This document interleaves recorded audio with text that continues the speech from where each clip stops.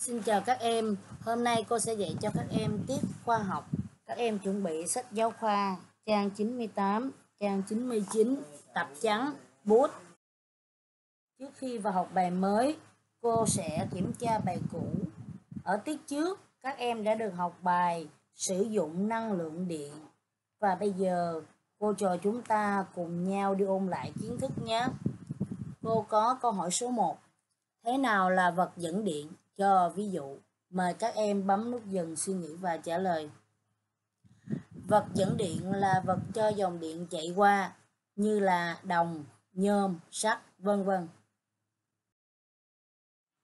Câu 2. Thế nào là vật cách điện? Cho ví dụ, mời các em bấm nút dừng suy nghĩ và trả lời. Vật cách điện là vật không cho dòng điện chạy qua như là sứ, nhựa, xốp, vân vân. Cô trò chúng ta vừa ôn lại bài sử dụng năng lượng điện. Các em đã biết, điện không phải là nguồn năng lượng vô tận. Điện rất nguy hiểm nếu chúng ta sử dụng không đúng nguyên tắc, sai mục đích. Bài học hôm nay cung cấp cho các em kiến thức về sử dụng an toàn và tiết kiệm điện. Hôm nay cô sẽ dạy cho các em bài an toàn và tránh lãng phí khi sử dụng điện. Sau bài học, các em cần biết nêu được một số quy tắc cơ bản sử dụng an toàn điện, tiết kiệm điện, có ý thức tiết kiệm năng lượng điện. Cô cho chúng ta cùng nhau đi vào hoạt động số 1, các biện pháp an toàn khi sử dụng điện. Cô mời các em quan sát hai bức tranh. Nội dung của mỗi tranh vẽ gì? Làm như vậy có tác hại gì? Mời các em bấm nút dừng, suy nghĩ và trả lời. À các em ạ, à, các em thấy tranh một nè. Hai bạn nhỏ đang thả diều nơi có đường dây điện đi qua. Một bạn đang cố kéo khi chiếc diều bị mắc vào đường dây điện. Việc làm như vậy rất nguy hiểm đấy các em ạ. À. Vì có thể làm đứt dây điện, dây điện có thể vướng vào người và gây ra chết người đấy. Còn các em nhìn hình hai nè. Một bạn nhỏ đang sờ tay vào ổ điện và người lớn kịp thời ngăn lại. Việc làm của bạn nhỏ rất nguy hiểm đến tính mạng vì điện có thể truyền qua lỗ cắm trên phích điện truyền sang người, gây chết người. Như vậy các em thấy trong cuộc sống có rất nhiều tai nạn thương tâm về điện. Vậy chúng ta cùng nghĩ xem có những biện pháp nào để phòng tránh điện giật Em cần làm gì và không làm gì để tránh bị điện giật? Tại sao?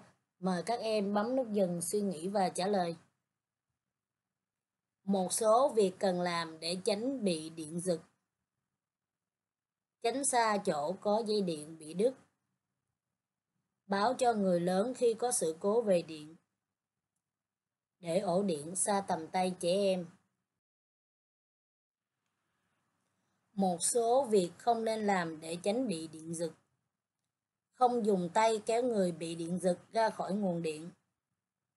Không chạm tay vào chỗ hở của đường dây điện hoặc các bộ phận kim loại nghi có điện.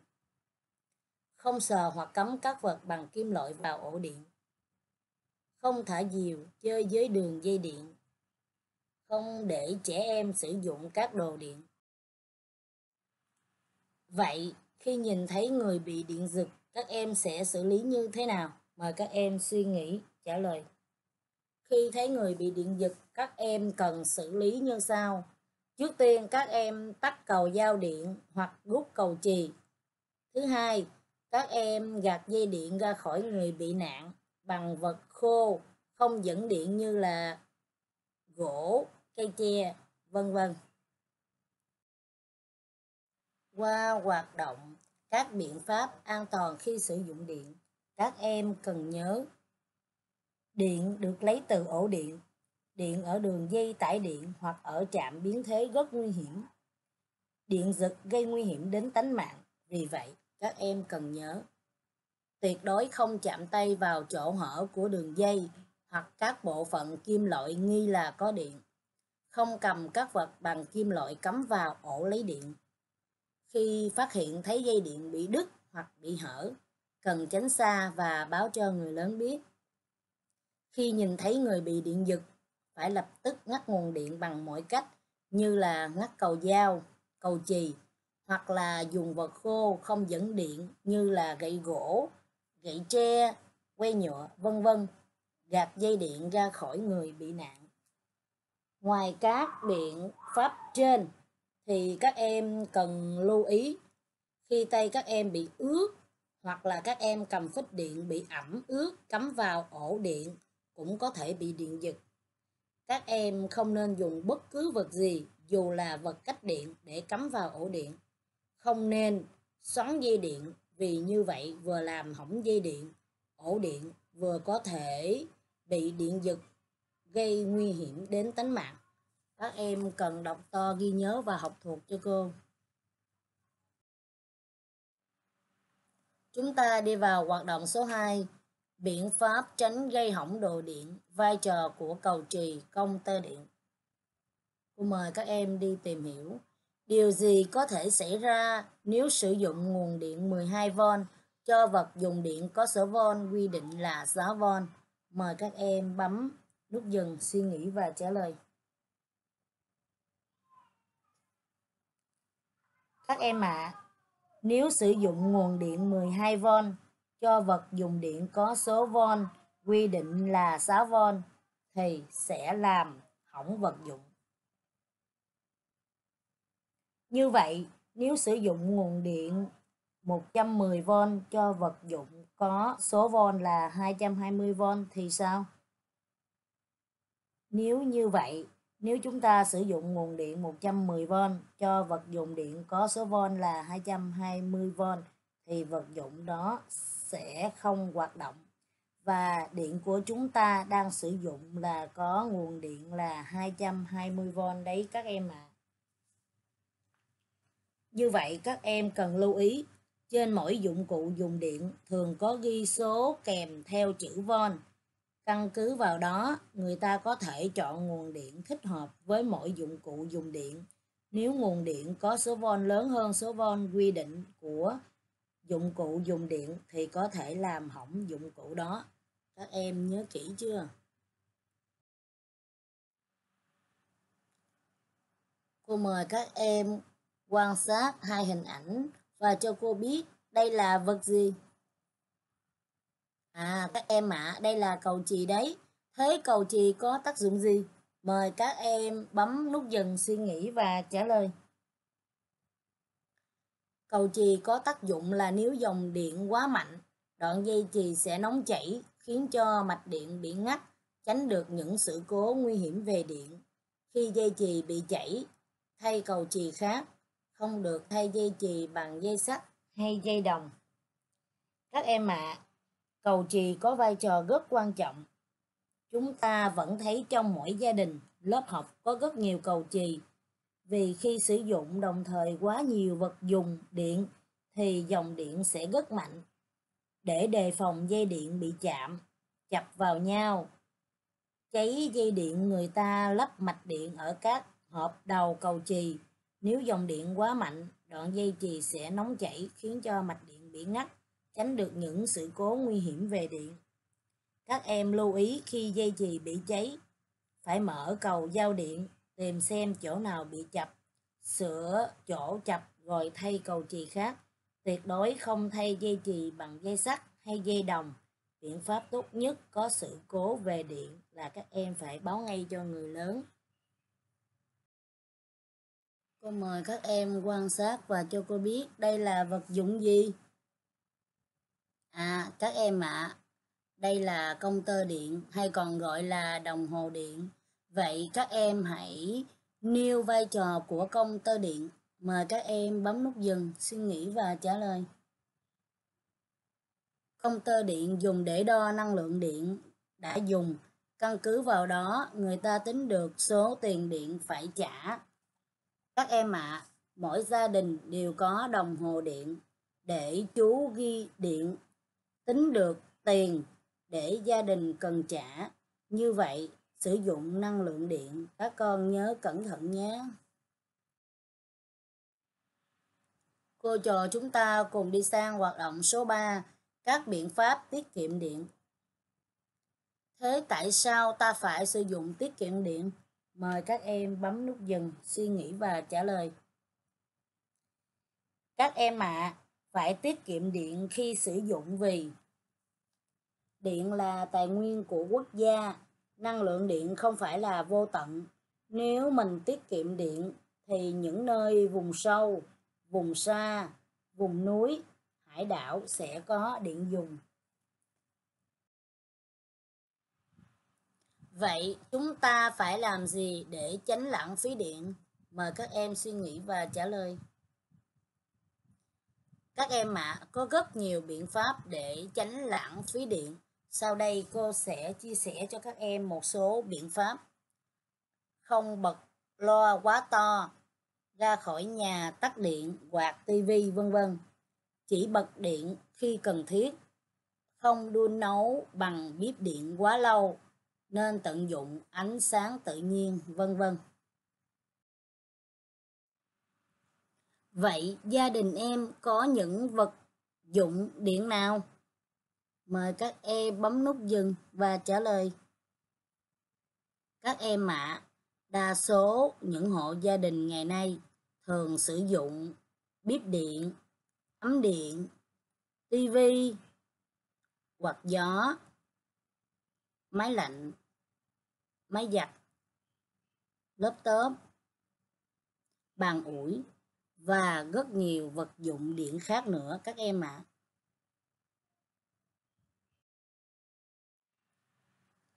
Vậy các em thấy gia đình mình đã sử dụng điện hợp lý chưa? Nếu chưa hợp lý thì cần phải làm gì? Các em suy nghĩ.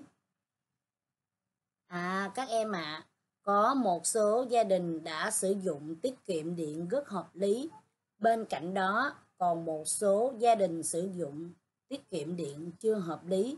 Vì vậy, đảng và nhà nước kêu gọi người dân sử dụng điện phải biết tiết kiệm. Sử dụng điện tiết kiệm có lợi việc gì? Mời các em suy nghĩ trả lời cho cô. Theo em, việc sử dụng điện tiết kiệm thì có lợi gì? Các em mà sử dụng điện tiết kiệm có lợi là thứ nhất là chúng ta giảm được chi tiêu cho gia đình.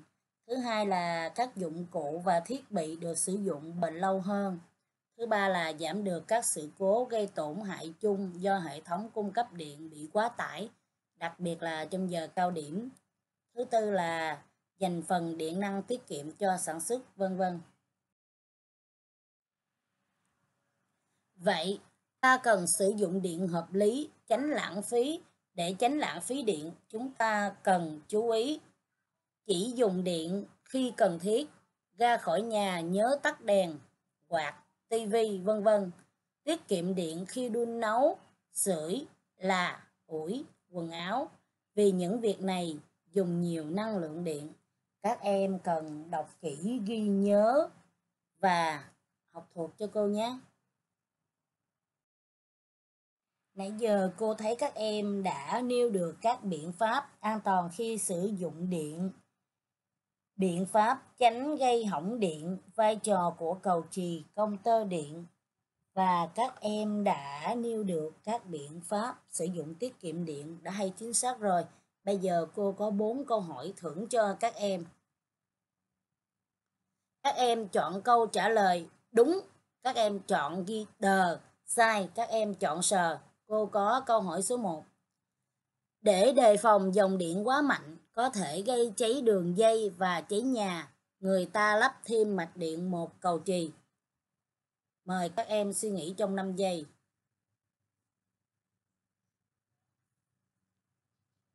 Hết thời gian. Mời các em đối chiếu kết quả của các em với cô. Đáp án của cô là đúng. Cô chọn chữ đờ. Câu 2. Khi nhìn thấy người bị điện giật, ta dùng tay kéo người đó ra khỏi nguồn điện. Thời gian 5 giây bắt đầu.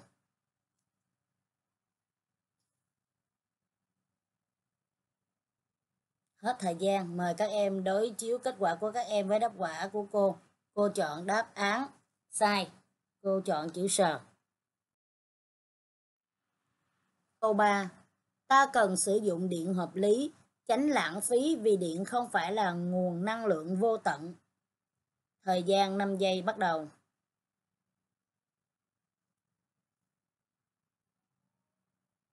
Hết thời gian, mời các em đối chiếu kết quả của các em với kết quả của cô.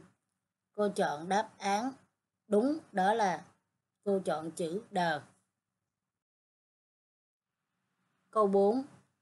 Với mỗi dụng cụ dùng điện, ta nên chọn nguồn điện thích hợp. Thời gian 5 giây bắt đầu.